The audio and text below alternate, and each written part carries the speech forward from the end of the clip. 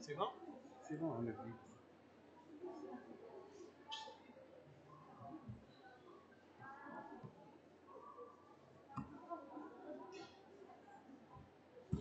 C'est bon, c'est. C'est bon? Ah, il y c'est bon?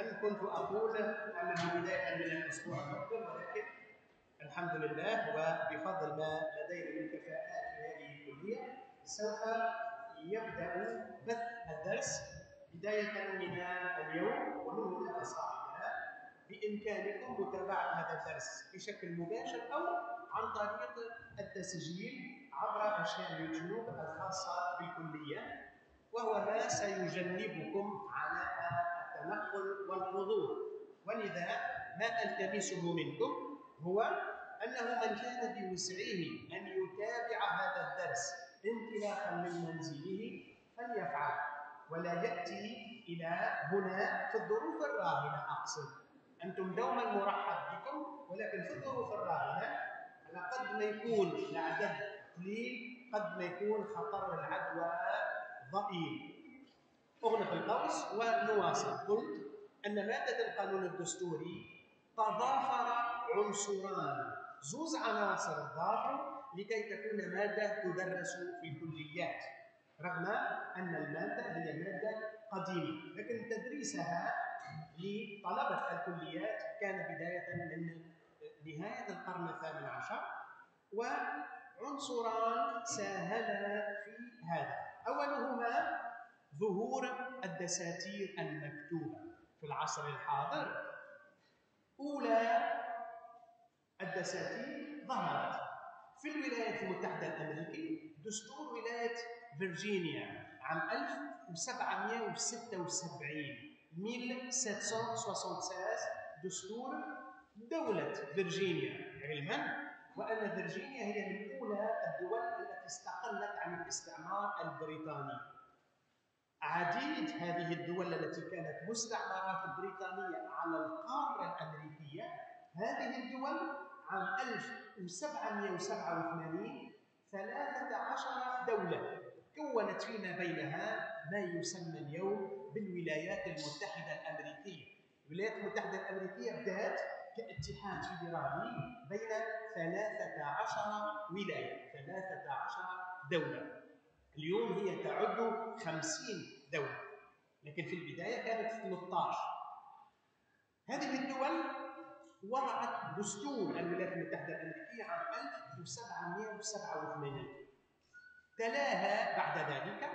أول دستور وضع في فرنسا عقب الثورة الثورة اللي صارت عام 1789 أول دستور وضع هو دستور سنة 1791 دستور ما بعد الثورة في فرنسا. إذا القانون الدستوري بدأ يتبلور وأهميته تبرز انطلاقا من ظهور تدوين الدساتير وظهور الدساتير المكتوبة في كل من الولايات المتحدة الأمريكية ثم في فرنسا ثم تلتها بعد ذلك دول أوروبية أخرى. هذا العنصر الأول. العنصر الثاني هو أنه في فرنسا صادف أنه بعد الثورة وبالتحديد في عام 1791 بعد وضع أول دستور بدأ التفكير في تدريس مادة القانون الدستوري ولأول مرة هذه المادة يحدث لها ما يسمى بكرسي القانون الدستوري une chaire de constitutionnel كان في فرنسا في عهد وزير التربية فرانسوا جيزو الذي الذي كان من انصار نظام الملكية المقيدة أو الملكية المعتدلة. شو معناها؟ يعني بعد الثورة صحيح؟ بعد الثورة في فرنسا بقي النظام الملكي. بقي النظام الملكي بعض الوقت. ثم تم إعلان الجمهورية الأولى ولكن لم يستقر الوضع في فرنسا. ظل النظام الجمهوري فيما بين 1792 إلى حين إلى حين 1814 عاد النظام الملكي. يعني في دول اليوم ما نتصوروش أنها تقلبت بين الملكية والجمهورية. شوفوا مثلا في بريطانيا الكل نعرف أن بريطانيا العظمى هي دولة ملكية. لكن في تاريخها اعتمدت النظام الجمهوري. يعني في وقت ما وقع التخلي على النظام الملكي. ذلك النظام الذي يقع فيه توارث العرش توارث العرش والارتقاء إلى رأس الدولة عبر الوراثه هذا النظام الملكي وقع التخلي عنه وسوف نرى ذلك عندما ندرس النظام السياسي البريطاني وقع التخلي عنه في وقت معين وأعلن النظام الجمهوري لكنه لم يعمر طويلا. في فرنسا بعد إعلان النظام الجمهوري عقب الثورة عادت فرنسا عام 1814 إلى النظام الملكي. بسبب بسبب هزيمة نابليون بونابرت في الحرب. فالمنادون بقداسة وأفضلية النظام الملكي وجدوا فرصة لإعادة النظام الملكي في فرنسا وعاد وظل قائما إلى عام 1848 تاريخ إعلان الجمهورية الثانية 1848 أعلنت الجمهورية الثانية في فرنسا إيش معناها نظام جمهوري وليس نظام ملكي؟ يعني نظام يرتقى فيه إلى السلطة عن طريق الانتخاب ولا تورث فيه السلطة. خاصية الأنظمة الملكية أن الارتقاء إلى أعلى منصب في الدولة وهو رئاسة الدولة يكون عن طريق الإرث عن طريق التوارث. وهنالك قواعد تحكم توارث العرش عموما في نفس السلالة. الذكر الأكبر سنا هو الذي يرث العرش وهكذا. قلت في فرنسا وفي ظل النظام الملكي كان هنالك شق من الساسة والفقهاء يدافعون على نظام ملكية معتدلة أو مقيدة لأن النظام الملكي من حيث المادة كان ينظر إليه على أنه نظام استبدادي. هو نظام بلغة اليوم غير ديمقراطي. لا يتدخل الشعب في اختيار حكامه. النظام الملكي محمول على أنه نظام استبدادي لكن لكنها ليست حقيقة مطلقة. في حالات نجد النظام الملكي بالفعل هو نظام استبدادي.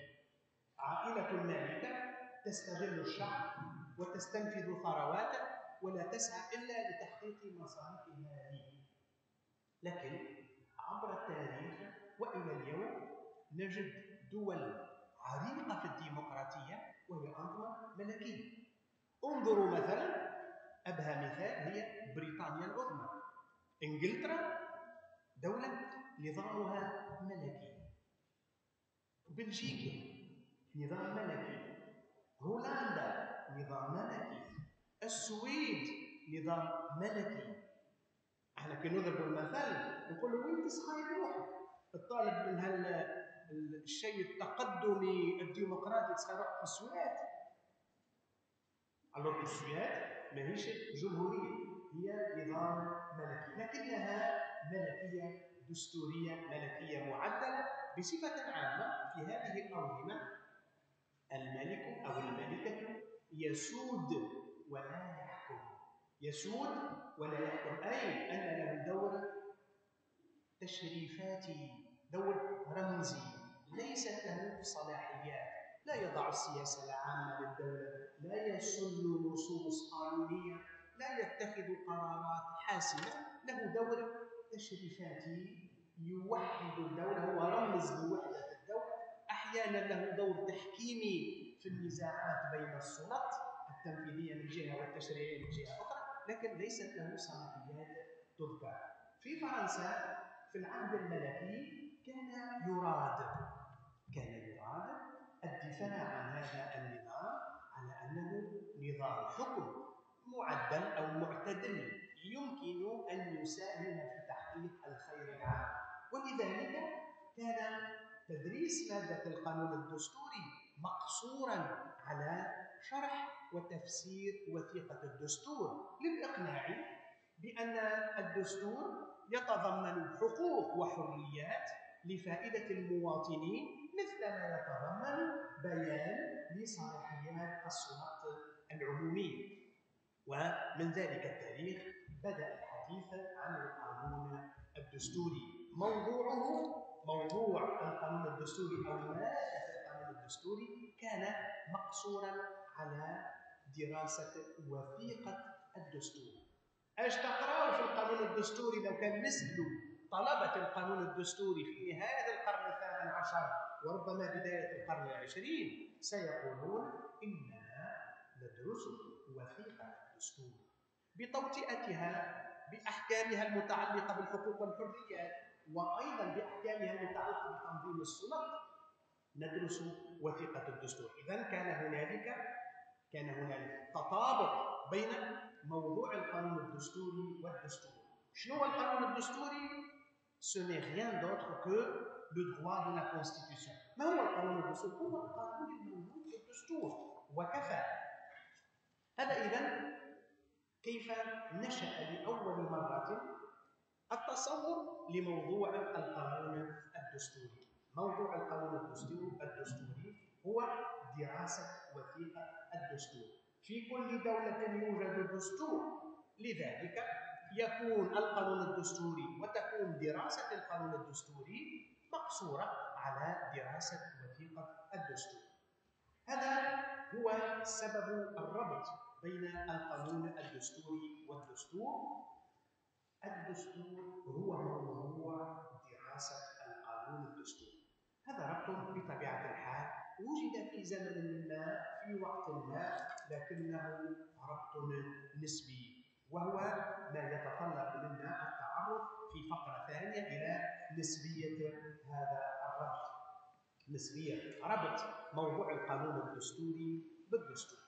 ننتبه جيدا بأننا في بيان النسبية سنوجه مثل ما فعل فقهاء القانون الدستوري سنوجه انتقادات لهذا الربط نعود الفكرة هي التالية. القانون الدستوري ما هو في نهاية الأمر إلا الدستور إلا القواعد الموجودة في وثيقة الدستور. هذا الربط الذي كان موجودا في زمن كان موجودا في زمن ما. اليوم لم يعد موجودا. اليوم هذا الربط لم يعد موجودا تم تنسيبه. هذا الربط تم تنسيبه. هو ربط نسبي. لا يصح لا يصح إلا نسبيا. علاش؟ لأنه ثبت لأنه ثبت أن واحد القانون الدستوري ظهر قبل أن يظهر الدستور بمعنى تلك الوثيقة المكتوبة التي تضعها سلطة مختصة وتتضمن قواعد تعنى بالسلطة السياسية وتتمتع تلك الوثيقة بالعلوية. قبل أن يظهر الدستور بهذا المظهر كوثيقة تضعها سلطة مختصة وفقا لإجراءات خاصة. C'est un document, c'est un texte qui est posé, qui est édicté par une autorité spéciale. إيش فيه؟ فيه قواعد عامة مجردة وملزمة موضوعها تأطير السلطة السياسية بما يعني ذلك بيان صاحب السيادة أو صاحب السلطة مصدر السلطة بيان كيفية الارتقاء إلى السلطة كيف تتعامل السلطات فيما بينها كيف تتعامل مع المواطنين أو مع المحكومين؟ كل هذه القواعد هي قواعد القانون الدستوري. هل أن هذه القواعد لا توجد إلا متى وجد الدستور؟ نقول لا.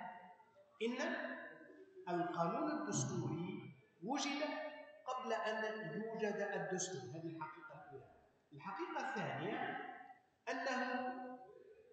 ظهور الدساتير وبعدما وجد الدستور المكتوب إن القانون الدستوري يتجاوز وثيقة الدستور أي أن الدستور لا يضم كل القانون الدستوري.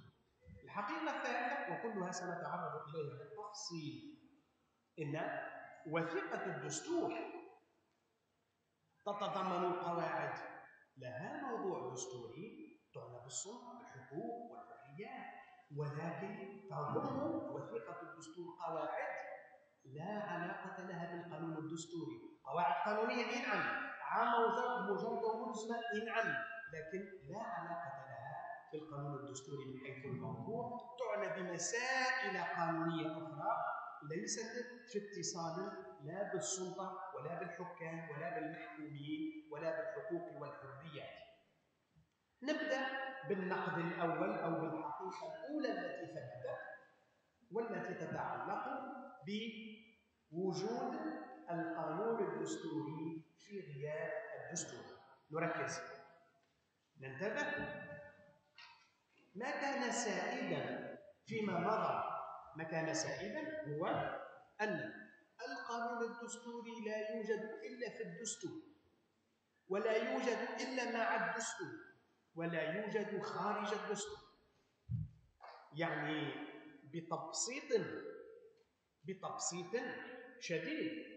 كي نسألوا في بلاد القانون الدستوري نتاعكم اللي يعنى بتنظيم السلطة السياسية وبعلاقات السلطات فيما بينها وبعلاقة السلطة بالمواطنين هل القانون الدستوري هذا أين نجده؟ نجده في الدستور. شنو هو الدستور؟ القواعد الدستورية هذه التي توجد في الدستور ما هو الدستور؟ الدستور ها هو شنو هو ها هو؟ هذا نص فيه قواعد مكتوبة من وضعها؟ وضعتها سلطة تسمى السلطة التأسيسية نجم تكون لجنة من الخبراء وضعت الدستور وصادق عليه الشعب ينجم يكون مجلس منتخب من الشعب لوضع الدستور. يتسمى مجلس تأسيسي. مثلما عرفت بلادنا ذلك عام 56 حين انتخبنا المجلس القومي التأسيسي الذي وضع دستور 1 جوان 59 كيف كيف ما عرفته بلادنا بعد الثورة من انتخاب لمجلس وطني تأسيسي وضع الدستور. انتخب في أكتوبر 2011 ووضع الدستور في جانفي 2014 في 27 جانفي 2014 الدستور نص وثيقة توضع من قبل سلطة تسمى السلطة التأسيسية وثيقة تتضمن قواعد مبادئ عامة مجردة وملزمة تتسم بالعلوية من حيث القيمة القانونية هي أعلى نص في الدولة. ولا يمكن لباقي النصوص أن تخالفها كل القواعد الموجودة في الدستور تتمتع بالعلوية تضعها سلطة تسمى السلطة التأسيسية le pouvoir constituant. C'est le pouvoir qui va poser la constitution. Qui va élaborer et poser la constitution السلطة التأسيسية تضع وثيقة فيها قواعد عامة مجردة وملزمة بماذا تعنى هذه القواعد؟ علاقات التجار فيما بينهم؟ لا العلاقات داخل العالم؟ لا الجرائم والعقوبات؟ لا البيئة؟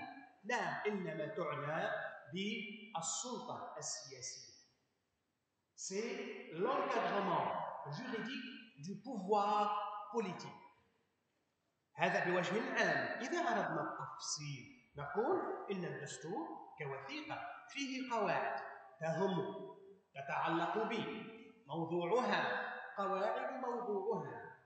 تنظيم أهم المسائل في الدولة وهي مسألة الحكم. من بيده الحكم؟ من هو صاحب السلطة؟ كيف تمارس هذه السلطة؟ من قبل من؟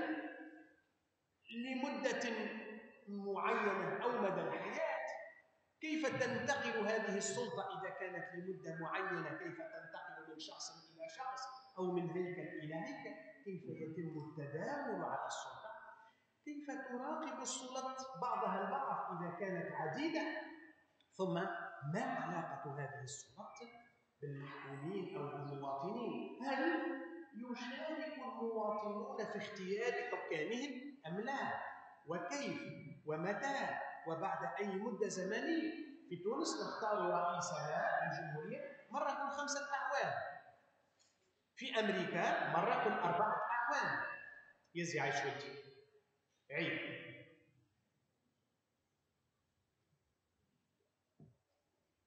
كيف تمارس من قبل من ولكن ما علاقة الشعب ما علاقة المواطنين بالسلطة السياسية؟ هل لهم حقوق وحريات مضمونة؟ هل يشاركون في الحكم؟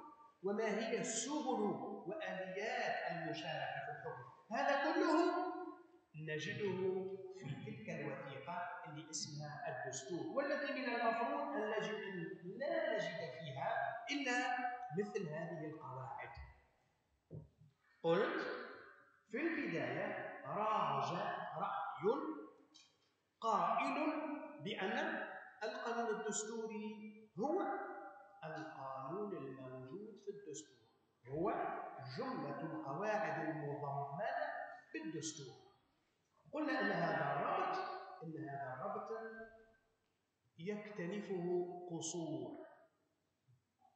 فيه نقائص. هو رأي نسبي علاش؟ لأنه أولاً لا يصح القول بأن القانون الدستوري لا يوجد إلا متى وجد الدستور. ثبت أنه وجد ويمكن أن يتواجد القانون الدستوري أي قواعد تحكم السلطة والحقوق والحريات. يمكن أن تتواجد في غياب الدستور. هذه الحقيقة الأولى.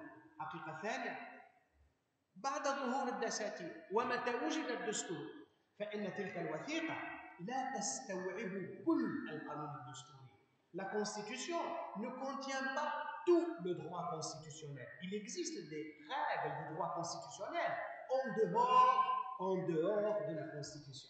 توجد قواعد القانون الدستوري أي قواعد تهم الحقوق والحريات قواعد تهم السلطة غير مضمنة بوثيقة الدستور يولي القول بأن وثيقة الدستور تضم كل القانون الدستوري قول غير صحيح.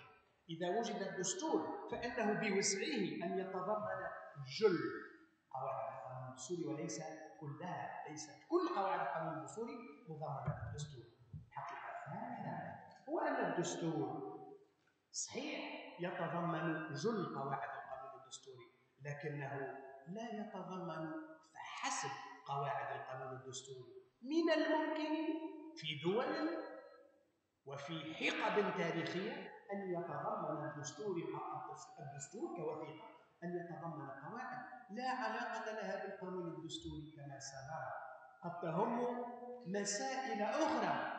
لا تتعلق بالحكم لا تتعلق بالحقوق والحريات هذو الثلاثة اللي باش نفصلوهم تو نبدأ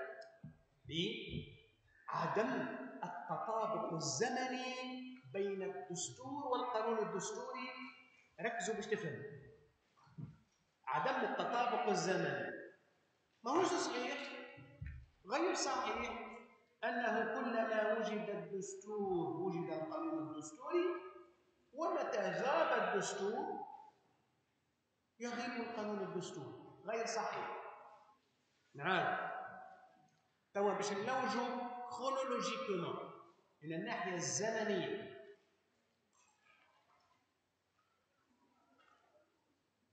قانون الدستور لا توجد كان مع الدستور وكي يغيب الدستور يغيب معاه القانون الدستوري هذا الرأي خاطئ نعود بالتبسيط فما اللي يقول بالتزامن التزامن يعني التعايش في نفس الفترة الزمنية. تزامن تواجد في نفس الزمن. ثم يقول بالتزامن بين القانون الدستوري والدستور. يعني كلما وجد الدستور وجد قانون الدستور. إذا غاب الدستور نتيجة انقلاب نتيجة ثورة نتيجة إلغائه يغيب القانون الدستوري أكثر من هذا. القانون الدستوري مظهر إلا بعد ظهور الدساتير المكتوبة. نهار اللي توضعت الدساتير المكتوبة. وقتها ولا ثم قانون دستوري. والقانون الدستوري ما هم موجود. كان في الدساتير المكتوبة. وكي تغيب كي تزول الدساتير المكتوبة. يضمحل القانون الدستوري. هذا ثلاثة غالطين ثم ثم براهين من التاريخ. تدل على خطأ هذا الرأي. لولا. من ظهر قبل الآخر؟ القانون الدستوري أم الدستور؟ القانون الدستوري قديم. القانون الدستوري قديم. قدم السلطة السياسية. الدساتير المكتوبة كظاهرة ظاهرة تضمين القواعد المنظمة للحكم في وثيقة اسمها الدستور هي ظاهرة حديثة. إذا ما استثنينا مثلا الدساتير اليونانية والتي لم يصل لم يصلنا منها إلا دستور أثينا. وإذا ما تغاضينا عن دستور قرطاج. لم تعرف الدول دساتير. لم تعرف وثائق اسمها دستور. ما عندناش دستور الإمبراطورية الرومانية. ما عندناش روما ويا ما روما ما نعرفوش إنه عندها دستور. ما نعرفوش دستور الدولة الفارسية. ما نعرفوش دستور الدولة المصرية الفرعونية. ما فماش دستور للدولة الإسلامية. ولا يمكن القول أن القرآن هو دستور الدولة الإسلامية. الدستور بمعنى وثيقة مكتوبة. توضع من قبل سلطة مختصة وتضمن بها قواعد. تضمن بها قواعد تهم الحكم. القرآن الكريم ليس هذا. ليس دستورا بالمعنى القانوني لعبارة دستور. فيه أحكام تهم الحكم. فيه أحكام تهم المعاملات ولكن فيه أحكام تهم العبادات. فيه قصص قرآني فيها عديد المسائل القرآن الكريم لكنه ليس دستورا بمعنى وثيقة.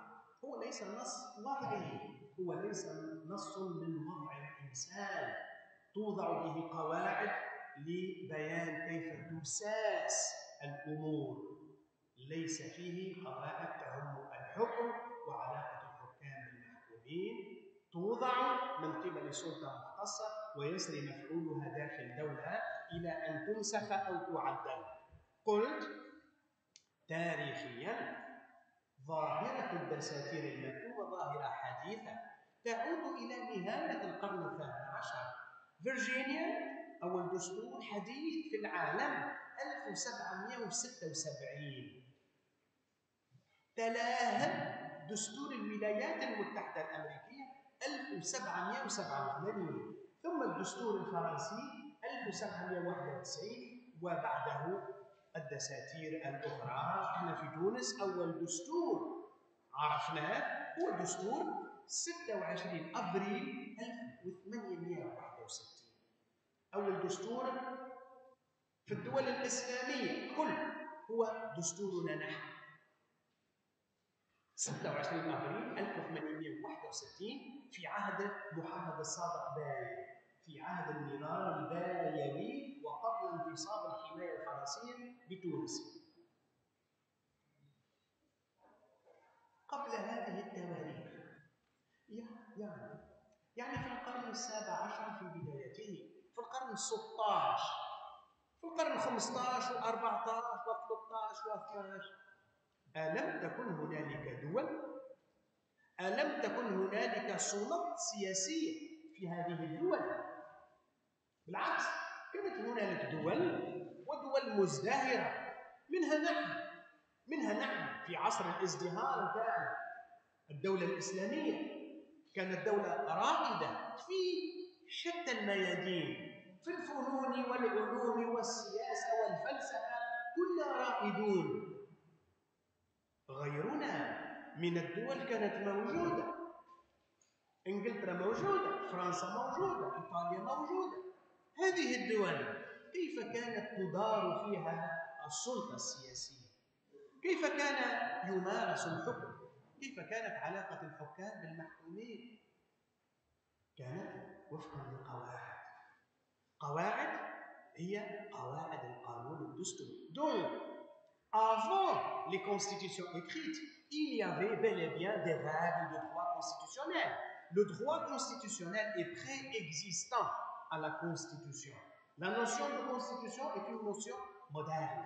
مسألة الدستور كوثيقة مكتوبة تضعها السلطة تأسيسية وتتمتع بالعلوية هذه الوثيقة ظهرت في نهاية القرن الثمنتاشر السلطة السياسية قديمة في الزمن كيف كان الحكام يسوسون الرعية؟ كيف كانوا يحكمون الشعوب؟ وفقا لقواعد. قواعد القانون الدستوري. نرد بالنا لهنا رانا لا نقيم تلك القواعد. ما نجمش نقول قواعد ديمقراطية ولا غير ديمقراطية. كانت ثم قواعد تبين كيف يرتقى إلى السلطة. عند المسلمين عن طريق البيعة. والبيعة مقصورة على أهل الحل والعقد مش من طريق الانتخاب. عن طريق أهل الحل والعقد. من العلماء هم الذين يبايعون. في دول أخرى كان العرش يتوارث وفقا لقواعد محددة. في بريطانيا من الممكن من الممكن إذا انقطعت السلالة من الذكور أن ترث العرش أنثى. اليوم داير ملكة بريطانيا امرأة وليست رجلا. في دول أخرى توارث العرش يكون بين الذكور فقط. في المملكة العربية السعودية مثلا وفي غيرها من الأنظمة الملوكية. في المغرب الأقصى الشقيق كيف كيف؟ قواعد توارث العرش هي قواعد تهم الحكم. ما للرعية من حقوق؟ نتحدث بلغة الرعية قبل نعيش بلغة المواطنين. ما زال الشعب ما ولاش شعب مواطنين. كان شعب رعية في درجة أدنى. حقوقه يتحكم فيها الملك أو الإمبراطور وله حتى الحق على حياته ويمكن أن يقضي عليه بالموت. في أزمان قديمة. لا يهمنا طابعها الديمقراطي من عدمه. كانت هنالك قواعد تنظم الحكم.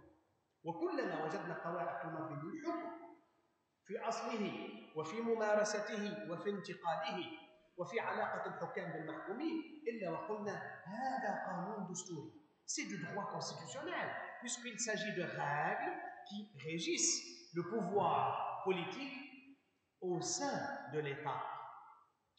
Des règles qui nous indiquent qui est le titulaire du pouvoir, qui est le souverain. في وقت ما الملك هو صاحب السيادة. D'ailleurs, يقولوا le souverain. وحتى لليوم يقولوا له سوفغان الملك أو صاحب السياده صاحب السياده الملك في الانظمه الديمقراطيه يقولوا الشعب صاحب السياده ومصدر السلطات مثل ما ينص على ذلك الدستور نلخص ونقول. تاريخيا إن القانون الدستوري ظهر قبل قرون عديدة من ظهور الدستور وعليه لا يصح القول بأن القانون الدستوري لا يتواجد إلا متى تواجد الدستور. هذه البرهان الأول. البرهان الثاني. إلى اليوم إلى اليوم توجد على الأقل دولة. هي هي دولة بريطانيا العظمى. ليس لها دستور. بريطانيا العظمى ليس لها دستور. ما ما كيف تسير الأمور؟ بريطانيا بدران من القوى العظمى. الحكم فيها السلطة السياسية فيها تحكمها قواعد قانونية. بعضها مكتوب وبعضها عرفي. لكن لا وجود في بريطانيا إلى اليوم لوثيقة اسمها دستور. أو في الولايات المتحدة الأمريكية يقولوا The Constitution of the United States of America. The Constitution. في بريطانيا لا يمكن القول The Constitution. ثم The Establishment Act The Parliament Act. ثم قانون البرلمان أو القانون الأساسي. ثم The Magna Carta أو الشرعة العظمى أو العهد الأكبر وهو ميثاق حقوق. ثم The Bill of Rights. ثم نصوص تنظم الحقوق والحريات وتنظم الحكم. لكنها غير مجمعة ولا تشكل لوحدها القانون الدستوري. ثم نصوص مكتوبة؟ ثم نصوص مكتوبة. The Establishment Act, The Parliament Act تعرضوهم الكل بتواريخهم The Bill of Rights, The Magna Carta. كلها نصوص مكتوبة ولها علاقة بالحكم. وثم قواعد أخرى هامة. غير غير مدونة غير مكتوبة. موجودة يعرفها الجميع. الجميع يتحدث عنها. ويعرفون محتواها ومؤداها ونتائجها ولكنها غير مضمنة بأي نص. مثل مسؤولية الحكومة أمام البرلمان. مثل حق الحكومة في حل البرلمان. هذه قواعد لا وجود لها في أي نص. إحنا عندنا اليوم موجودة في بلادنا في الدستور أما في بريطانيا منذ تكون ونشأ النظام البريطاني إلى اليوم بريطانيا العظمى ليس لها دستور وهنا يسمح بالقول أنه يوجد القانون الدستوري في غياب الدستور آه. وجد القانون الدستوري تاريخيا قبل أن تظهر الدساتير المكتوبة آه. إلى اليوم توجد دولة. لها قانون دستوري لها قواعد دستورية لها قواعد ذات محتوى دستوري تنظم السلطة السياسية. وليس لها وثيقة اسمها دستور. ثلاثة من بلادنا من بلادنا. مثال مستمد من تاريخ بلادنا. بعد الثورة ثورة الحرية والكرامة في بلادنا. وبالتحديد بموجب القانون التأسيسي عدد ستة الصادر في السادس عشر من ديسمبر 2011 ألغي دستور 1 جوان 59 دونك le 16 décembre 2011 la Tunisie n'avait plus de constitution.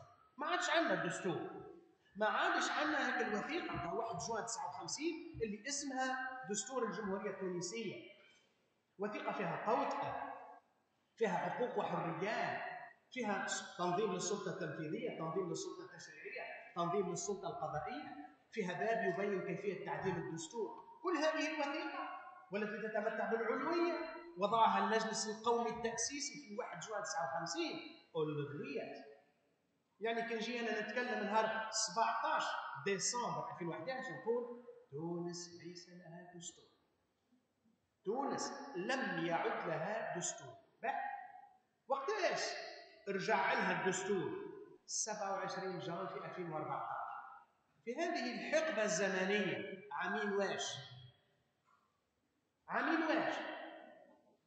من 16 ديسمبر 2011 ل 27 جانفي 2014 السلطة موجودة عندنا رئيس جمهورية في شخص السيد الدكتور محمد المنصف المرزوقي رئيس جمهورية عندنا سلطة تشريعية في مشخصة في المجلس الوطني التأسيسي. كان يضع الدستور وكان يشرع وعندنا سلطة تنفيذية.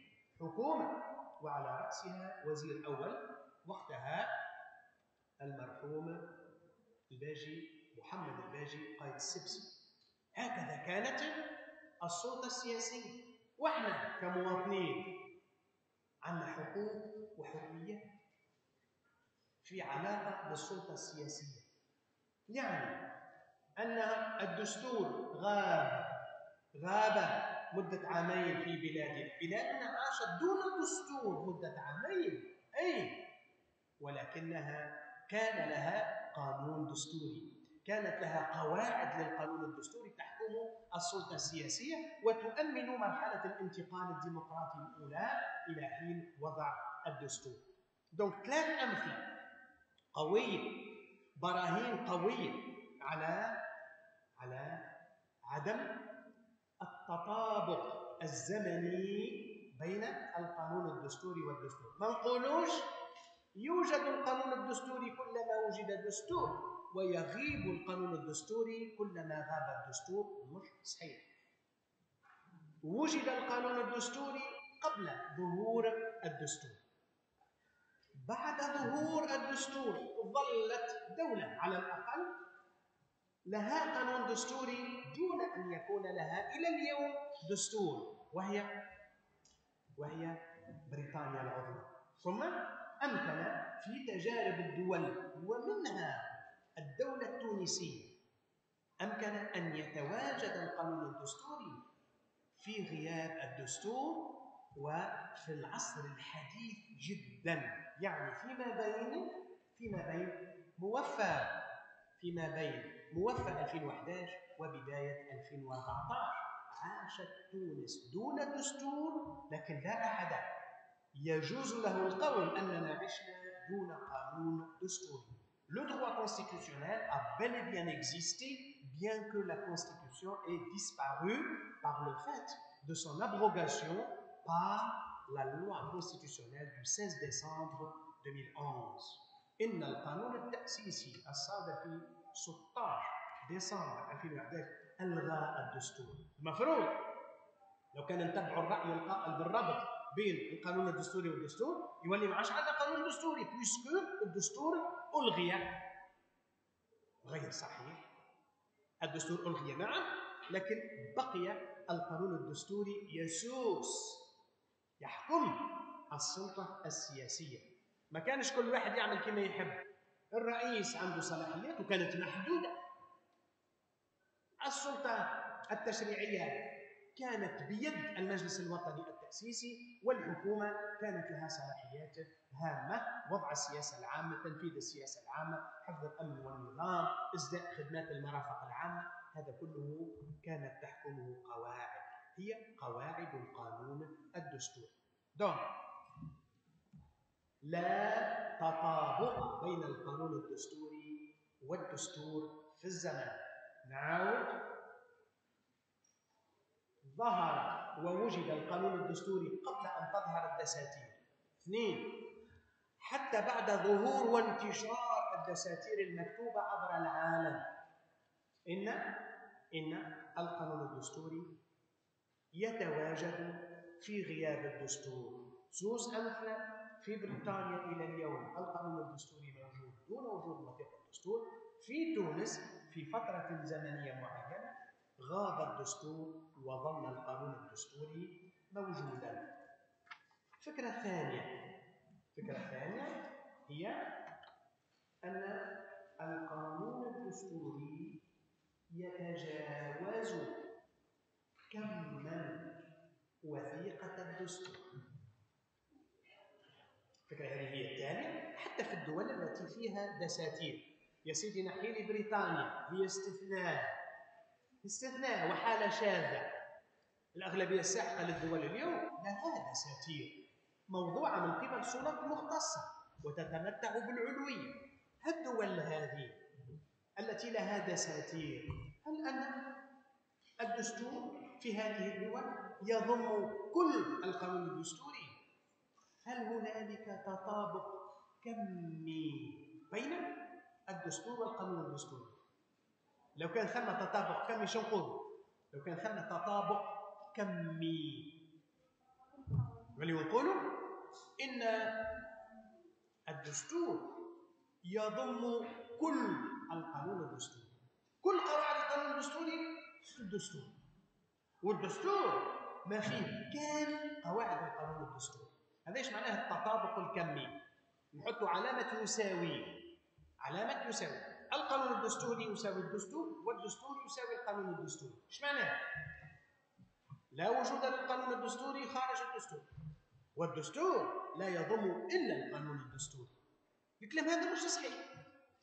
التطابق الكمي غير صحيح. نعم. لو لو وجد تطابق كمي وكنا نتحدث عن التطابق الزمني. بين التطابق الزمني. ما يوجد القانون الدستوري كان يوجد الدستور وكي يغيب الدستور يغيب القانون الدستوري هذا التطابق الزمني قلنا غير صحيح.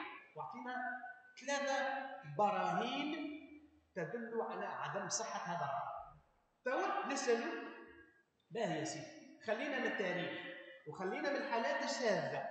خلينا من الحالة الاستثنائية نتاع تونس. خلينا من الحالة الشاذة نتاع بريطانيا العظمى. أعطينا الحالة السائدة العامة أعطينا المبدأ. اليوم الدول كلها فيها دساتير في هالدول هذه نجموش نقول أنه ثم تطابق كمي. إيش معناه تطابق كمي؟ التطابق الكمي بين القانون الدستوري والدستور يعني أن كل القانون الدستوري موجود في الدستور. لو كان مثلا عدد قواعد القانون الدستوري 300 يلزمنا نلقاهم الكل في الدستور. أي؟ وفي الدستور ما يلزمنا نلقاو كان أكد 300 قاعدة نتاع القانون الدستوري ما نلقاوش قواعد أخرى. تهم حاجات أخرى. هذا إيش معناه التطابق الكامل. لا وجود له. ما هوش صحيح. ما هوش صحيح. ما شنو هو اللي صحيح؟ الصحيح هو الاتي أه؟ إن الدستور لا يضم كل قواعد القانون الدستوري بل يضم جلها. La plupart, la majorité des droits, de, des règles des droits constitutionnels sont consignées dans la Constitution. C'est vrai. La plupart, la majorité des règles أغلب قواعد القانون الدستوري نجدها في الدستور. لكن ليست كل قواعد القانون الدستوري موجودة في الدستور سنجد قواعد القانون الدستوري في مصادر أخرى خارج وثيقة الدستور. وهذا لا ينفي عنها وصفها بأنها قواعد دستورية لأن موضوع الشيء اللي تنظمه هي مسائل دستورية. راجعة للقانون الدستوري. تنظم السلطة تنظم الحكم تنظم الحقوق والحريات. هذا مواضيع القانون الدستوري. كي نلقى قاعدة خارج الدستور تهم السلطة. تهم كيف يختار المواطن رئيس الدولة. إيش نقول؟ نقول القاعدة هذه تنظم علاقة المواطن بالسلطة donc هذه قاعدة قانون دستوري. c'est une règle de droit constitutionnel ماهيش قاعدة تاع قانون إداري ولا قانون جبائي ولا قانون جنائي. لا هذه قاعدة تاع قانون دستوري. يشبه مش في الدستور ماهيش في الدستور مش بالضرورة. كل قواعد القانون الدستوري تكون موجودة في الدستور جل وأهم قواعد القانون الدستوري يلزمها تكون في الدستور وي اي نعم لا plupart la majorité les règles les plus importantes doivent être consignées dans la constitution نشوف القدام علاش mais pas la totalité la majorité et pas la totalité des règles de droit constitutionnel هذه حقيقة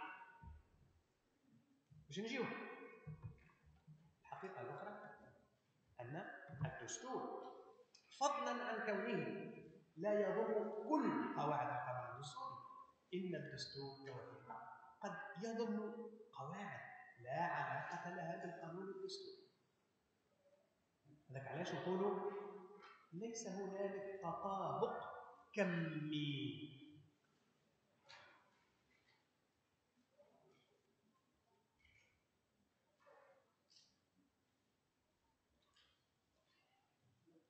نسهلك نسهلك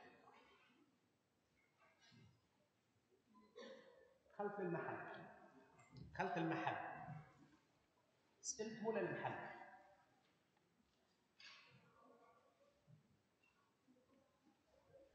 الصندوق بلاستيك الأصفر.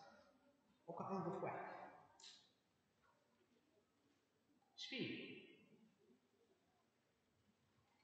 فيه؟ برجان حلو فيه برجان حلو عندكش بخرى أخرى فيها برجان حلو؟ لا. ما فيه كان برجان حلو وفماش برتقال حلو في سنة أخرى. لا. هنا نقول ثم تطابق تطابق بين البرتقال الحلو والصندوق الأصفر كل البرتقال الحلو في الصندوق الأصفر والصندوق الأصفر ما فيه كان برتقال حلو. هذا إيش معناها؟ تطابق كمي بين الوعاء والمحتوى. نجي نثبت نجي نثبت قولوا مالا الصندوق الأحمر هذايا؟ ماهوش برتقال حلو. قول لي هذاك راه فيه البرتقال المالتي. اللي هو قارص نحي كعبة قشرة نلقاها قارص والمحلاة نجي الكعبة الثانية قشرة نلقاها حلو يا مولا المحل مش قلت لي برتقال الحلو ما هو موجود كان في الصندوق الأصفر؟ قال لي وين مي ما نعرفش كيفاش هاي ثم كعبة حلوة في الصندوق حاجة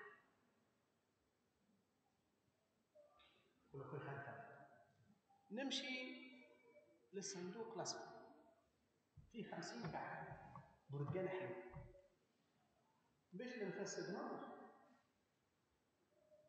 هذا نجم نطلعه بالشكل بالريحه أنا مختص. نعرف البرتقال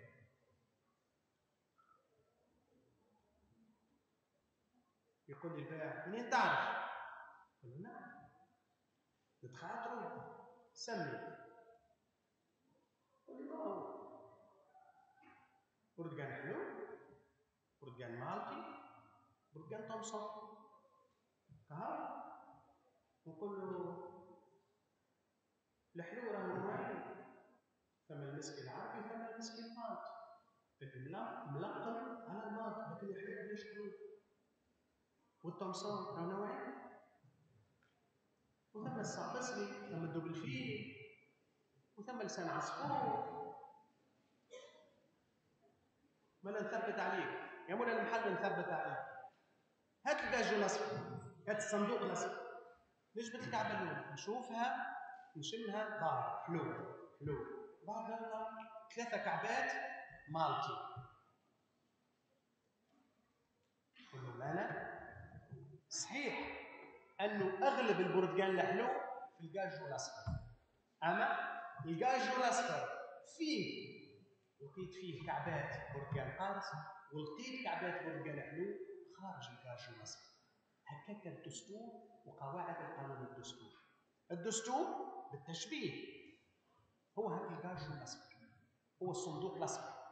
الجديد اللماع الباهي واللي في وسطه برتقال حلو. هو قواعد القانون الدستوري الدستور فيه قواعد القانون الدستوري أغلب القواعد اللي فيه أغلب الفصول تهم المادة الدستورية تهم الحكم والسلطة والحقوق والحريات لكن فيه قواعد أخرى ما عندهاش علاقة بالقانون الدستوري. ونلقى نلقى قواعد القانون الدستوري خارج الدستور. نرجع. المفروض الجاجو الأصفر ما فيه كان برتقال حلو والبرتقال الحلو ما هو موجود كان في الجاجو الأصفر. إيش لقيت في بربشة. الحقيقة. أو نظريا الجاجو الأصفر الكل برتقال حلو وما فيه كان الحلو نظريا هذا شقال مولا المحل. لكن كي بربشت أنا وثبت لقيت انه ثم كعبات برتقال حلو خارج الجاجو الأصفر. وكي بربشت في الجاجو الاصفر بيه نلقى كعبات برتقال ما همش حلو نلقى كعبه تنصور ونلقى كعبه مالتي هكذا هو حال العلاقة بين الدستور والقانون الدستوري. اليوم في أي دولة؟ في أي دولة؟ عندها دستور مكتوب. كي نغربلو كي نثبت باش نلقاه نلقاو الدستور فيه من حيث الكم. الأغلبية الساحقة لقواعد القانون الدستوري. لو كان مثلا النفل ينشقه القانون الدستوري قواعده مثلا قواعد القانون الدستوري 1000 يلزمنا نختار منها 900 ولا 950 في الدستور. وال50 الأخرين ايور في بلايص أخرى في مصادر أخرى سنراها في القوانين في القوانين الأساسية ثم قواعد دستورية. القانون الانتخابي في بلادنا. قواعده محتواها دستوري. لو كل قاعدة تهم الحكم تهم السلطة علاش قلنا القانون الانتخابي؟ القانون الانتخابي اللي صادر في 2014 علاش قلنا قواعده دستوريه علاش؟ لأنه يبين لنا من من يختار. وكيف يختار؟ من يختار؟ الحكام وكيف يختار شكون عنده حق التصويت؟ وكيف يصوت؟ لاختيار رئيس الجمهورية ولاختيار أعضاء مجلس نواب الشعب. الشعب. شكون الشعب؟ كل تونسي بلغ يوم الانتخابات 18 سنة كاملة. شكون عنده الحق يترشح؟ بحسب المنصب المترشح. كان عضوية مجلس نواب الشعب والا رئاسة الجمهورية. كيف يتم التصويت؟ كيف تتم الحملة الانتخابية؟ كيف يتم تمويلها؟ ما معنى الصمت الانتخابي؟ كيف يصرح بالنتائج؟ كيف يمكن الطعن في النتائج؟ هذه كل في القانون الانتخابي. القانون الانتخابي شو ينظم؟ كيف يختار الشعب حكامه؟ دونك القانون الانتخابي هو من صميم القانون الدستوري. نعاود ونقول راهو نعتبر أن قاعدة دستورية.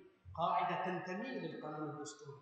نقول إنها تنتمي للقانون الدستوري من حيث موضوعها. شنو هو موضوعها؟ السلطة. بيان مصدر السلطة. كيف يرتقى إلى السلطة؟ كيف يختار المحكومون حكامهم؟ تنظيم العلاقات بين السلطات الحقوق الأساسية والحريات الفردية والعامة. إذا وجدنا قواعد هذا هو موضوعها نقول هذه قواعد دستورية. ما هيش قواعد مدنية ما هيش قواعد إدارية؟ ما هيش قواعد جبائية؟ هي قواعد دستورية. تهم السلطة. أصلا ممارسة انتقالا وعلاقات فيما بينها وعلاقات مع المواطنين أو المحكومين بهذا التعريف لقواعد القانون الدستوري بهذا التعريف للقانون الدستوري يجوز لنا القول بأن جل قواعد القانون الدستوري موجودة في الدستور وليست كل قواعد القانون الدستوري. يعني أن أهم قواعد القانون الدستوري سنجدها في الدستور لكن ثم قواعد سنجدها خارج الدستور في مصادر أخرى. نجدها في المعاهدات نجدها في القوانين وأحيانا حتى في الأوامر الترتيبية نجد قواعد دستورية Donc, les règles de, de droit constitutionnel, la plupart des règles de droit constitutionnel sont consignées dans ce document appelé la Constitution. Cela veut dire que d'autres règles, le reste des règles, nous allons le trouver dans d'autres sources de droit, dans les lois, dans les conventions internationales. هذه حقيقة هذه حقيقة شائعة بين مختلف الدول مانيش نحكي على بلادنا على بلادنا اي نعم ولكن أيضا في فرنسا في ايطاليا نجد القانون الدستوري جل قواعده موجودة في الدستور ولكن عديد القواعد المتبقية موجودة خارج الدستور. أمثلة في بلادنا مثلا. أعطيتكم أن الدستور ذاته في بلادنا بالنسبة إلى الحقوق الأساسية والحريات. الحق في الحياة الحق في الصحة الحق في المساواة الحق في المحاكمة العادلة الحق في بيئة سليمة الحق في العمل الحق في سرية المراسلة حرية التنقل. حرية تكوين الجمعيات تكوين الأحزاب حرية المعتقد حرية ممارسة الشعائر الدينية حرية الضمير. كل هذه الحقوق والحريات اللي موجودة في الفصول من 21 إلى 48 من الدستور. كل هذه الحقوق والحريات مضمنة بالدستور والفصول والقواعد التي تنظمها هي قواعد دستورية. لكن لكن التكريس المبدئي والضمان موجود صحيح في الدستور. لكن كيف تمارس هذه الحقوق تقول لي عندك حرية تكوين الجمعيات. كيف أكون جمعية؟ عندك حق الاقتراع والانتخاب. كيف أختار؟ كيف أقترع؟ متى؟ أين؟ كل هذا تجيب عنه قواعد أخرى يضعها المشرع بإجازة وإحالة من الدستور لو كي تقرأوا الدستور بالفصل 21 الانتقال 21 يبدأ بالحق بتاع المساواة يقول في كل الفصول إن هذه الحقوق تمارس وفقا للشروط التي يضبطها القانون. إيش معناها؟ يعني أنا الدستور أنا وثيقة الدستور ما حطيتلكش الشروط بتاع الممارسة. هذه مسألة تفصيلية. أنا الدستور أنا متضمن كل المبادئ والمبادئ الأساسية. التفاصيل مش أنا نعملها. أنا نقول يا كل مواطن عندك الحق في الانتخاب والاقتراع والترشح عندك الحق لكن كيف تمارس هذا الحق؟ لا أثقل به الدستور. سينو الدستور يولي فيه ألف صفحة ولا خمسة آلاف صفحة ويفقد قيمته. وكي نحط التفاصيل في الدستور. كلما احتجنا إلى تبديل التفاصيل سنعدل الدستور. وهو أمر غير هين. تعديل الدستور. الدستور ما يلزمش نستهانوا بها. لأن النص عنده قداسة قانونية عنده أهمية. الدستور كي توضع باش يقعد برابر خمسين سنة قبل ما يتعدل وينجم يعيش 200 سنة. كما دستور الولايات المتحدة الأمريكية عمره فوق ال 200 سنة. فوق ال 200 سنة عمره. هو بيدي. 1787 عدل نقح انضافت إليه قواعد أزيلت منه قواعد. غيرت قواعد لكن يظل هو بيدي. يعني بنفس التاريخ نفس المبادئ الأساسية. ما يغير في الدساتير لا يغير إلا بعد سنين. لأن المبادئ حين توضع مش بتاع نهار ولا شهر ولا عام. المبادئ توضع لتكون شبه أزلية. الحق في المساواة ما يتمسش. الحق في الحياة ما يتمسش. الحق في الصحة. الحق في الحياة الخاصة في سرية المراسلة في المحاكمة العادلة. زعما نبدلوه. 10 سنين قدام يقولوا لا ما عادش محاكمة عادلة ولا محاكمة ظالمة. ثم مبادئ شبه أزلية. كازي إترنال تقعد تقريبا إلى الأبد.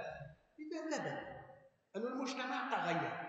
المحيط السياسي تغير ووجب التعديل. عندها لابد من التعديل بما يتماشى ويتناسب مع حاجات المجتمع.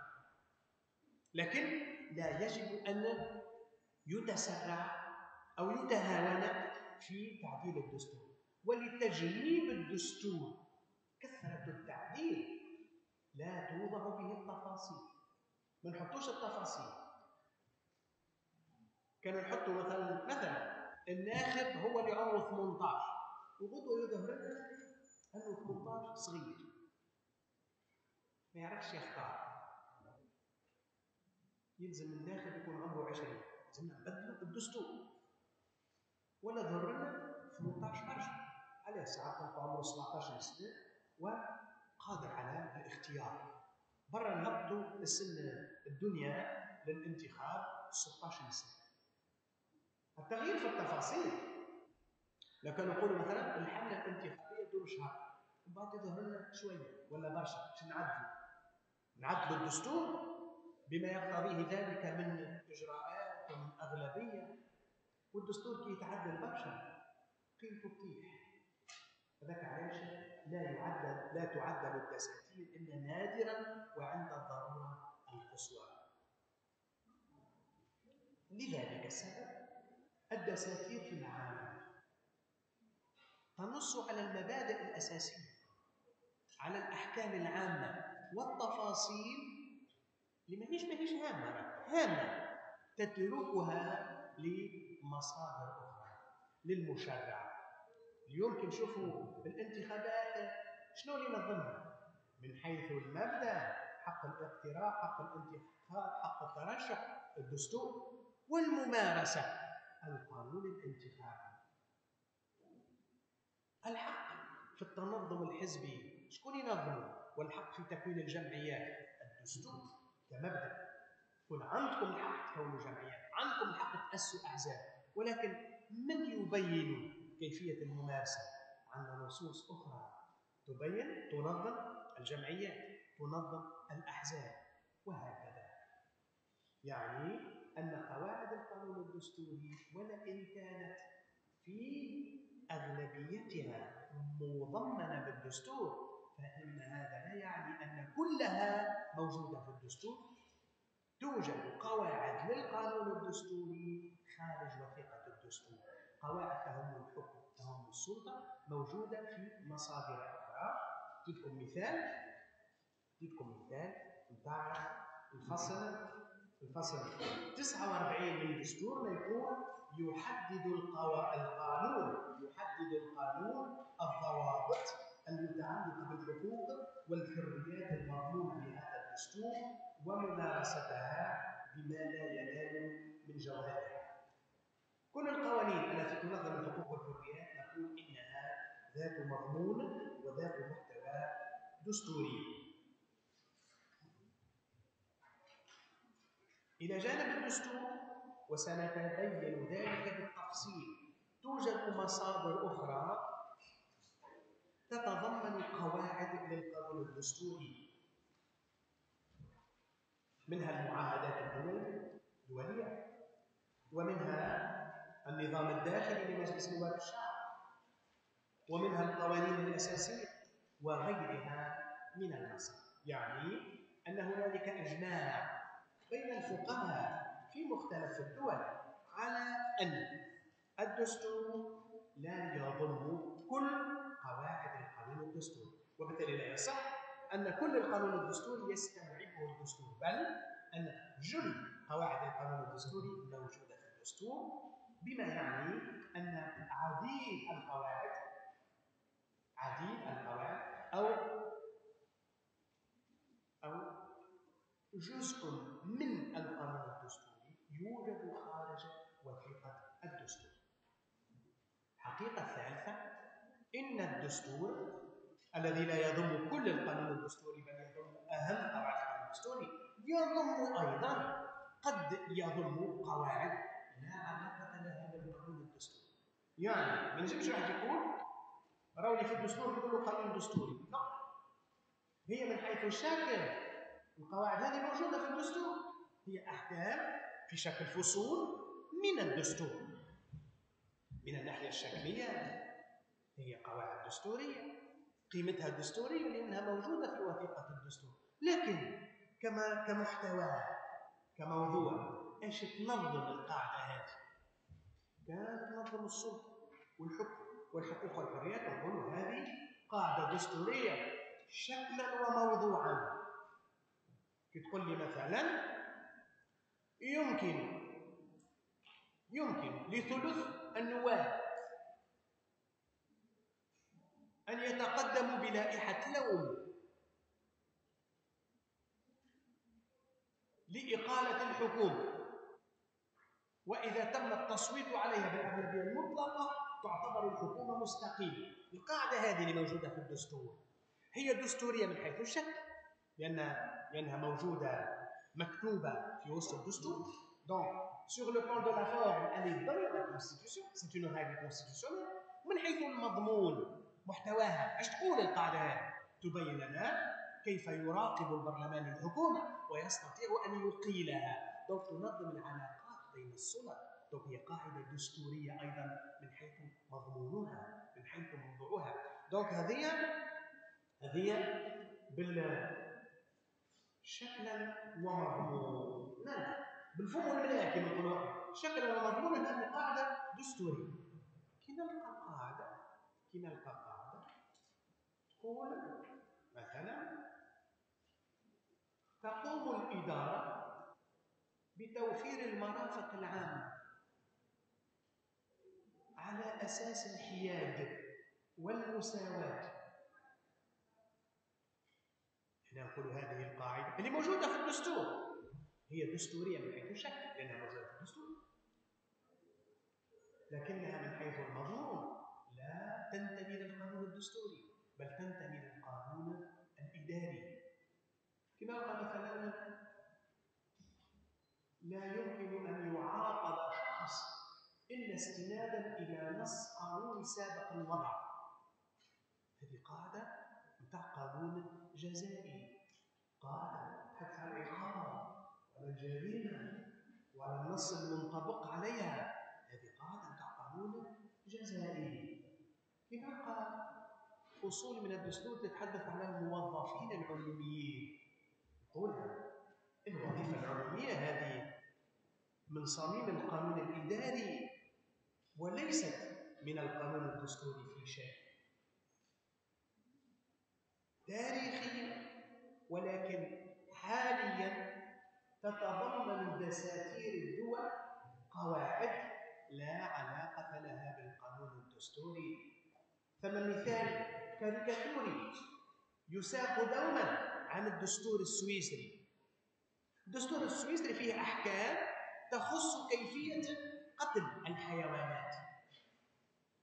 الدستور السويسري من كثر ما وصلوا من التقدم في مجال في مجال الرفق بالحيوان. فما فصول في الدستور السويسري تتحدث على كيفية قتل الحيوان. إيش فيها من علاقة بالسلطة وبالحكم وبالسيادة بممارسة السلطة إيش فيها من علاقة بالحقوق والحريات نتاع المواطنين؟ أكثر من ذلك الدستور السويسري يتحدث عن عن الجع الأبيار البير. هنالك قواعد تتحدث عن كيفية إنتاج وتوزيع الجع هل هذه قاعدة ذات مضمون دستوري؟ قطعا لا. هذه قاعدة غير دستورية من حيث المضمون. هي موجودة في الدستور. Donc c'est une règle. Quant à sa forme, c'est une règle constitutionnelle, puisqu'elle existe dans le document appelé constitution. Mais dans son contenu dans son objet موضوع القاعدة ليس دستوري هذه قاعدة تهم أشياء أخرى قل قائل يقول القائل إيش جاب هالقواعد هذا من الدستور. قواعد غريبة عن القانون الدستوري نورمالمون نلقاها في نصوص أخرى. ما نلقاوهاش في الدستور. الذنب على من؟ الذنب على الدستور. لأن الدستور الدستور كما نقولوا يقصد يقصد دار كبيرة. لأن الدستور يتمتع بالعلوية كلما أريد لمسألة كلما أريد لمسألة أن يرتقى بها إلى مرتبة هامة. وتؤطر تأطير قانوني بقواعد لها علوية. تدرج بالدستور.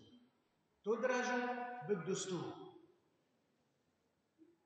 إيش معناها في دستورنا نقول الأسرة خليه أساسية في المجتمع؟ شنو هي هذه شنو هي القاعدة هذه ما نلقاوهاش في دول أخرى. هي دستورية من حيث الشكل لكن من حيث المضمون. هل لها علاقة بالسياسة بالسلطة بالحكم؟ ليست لها علاقة مباشرة بممارسة الحكم وبالحقوق والحريات اذا في كل مرة داخل دولة ما يراد لقاعدة. أن تكون لها مرتبة عليا. أن تكون لها أهمية في نظر المواطنين. تدرج بالدستور لتكون دستورية. لو فما فرق بين نقولوا هذه قاعدة تشريعية وهذه قاعدة دستورية. يقول واحد أنا نتمسك بالقاعدة الفلانية. يقول له ميسالش تمسك. أما راهي ال valeur نتاعها valeur législative. هي عادش بيه. يقول له لا أنا عندي قاعدة أهم اللي هي عندها valeur كونستيتيوشنال قاعدة دستورية. وإذا ما تعارضت القاعدتان تغلب القاعدة الدستورية. هذاك علاش إذا أردنا حماية مسألة. إذا أردنا حماية مسألة أو مؤسسة أو مؤسسة أين توضع؟ أين تنظم؟ في الدستور لتحقيق الحماية لها أي حماية؟ حماية مستمدة من علوية الدستور. ينحبوا نحطوا مبدأ مبدأ حياد الإدارة. كنا نجم نحطوه في نص تشريعي. لا حط في الدستور علاش؟ لكي يكون ملزما للكافه ملزم حتى للمشرع ملزم للسلطة التنفيذية ملزم لرئيس الدولة. حياد الإدارة. علاش؟ اردنا حماية مبدأ المساواة أمام الإدارة ومبدأ تكافؤ الفرص أمام الإدارة على الإدارة. أن تقدم خدماتها للمواطنين على قدم من المساواة وعلى أن تكون محايدة. أن لا تقدم الخدمات على أساس الانتماء السياسي أو الانتماء الجهوي. هذا طالب باش ندخلوا له منقالة نتاعنا ما نقولوش منين. عنده محل اي نعم. محل صالح للسكنة أو لحرفة؟ اي نعم. آه كريه بشكل قانوني؟ اي نعم. يتفضل يا ما نقولوش هذا منين؟ داير ولا نداء قضية نقابي. أمرجوه. أمرجوه. نعطيه واش نقابي. بيه وعليه ولا دي آه لا. لا لا ائتلاف الكرامة ما تعطيوش الإدارة في التعامل مع المنظورين يجب أن تلتزم الحياد ولا تنظر لا إلى المعتقد السياسي أو الانتماء الجهوي أو الانتماء الاجتماعي أو الطبقي مبدأ حياد الإدارة هو مبدأ من مبادئ القانون الإداري منصوص عليه في الدستور لإعطائه قيمة دستورية. علاش مكاسب المرأة المضمنة بمجلة الحقوق الشخصية، علاش تم التنصيص عليها في الدستور لضمان حماية، مش أي مشرع يجي ما يمسش بمكاسب المرأة كيف نتضمن لها مجلة الشخصية. هذا اذا بالنسبة إلى ربط القانون الدستوري بالدستور قلنا هو ربط نسبي خاصة خاصة أن موضوع القانون الدستوري عبر الزمن وعبر الدول عرف عرف تطورا سنتعرض إليه بعد الاستراحة. ناخذ استراحة عشر دقائق ونرجع.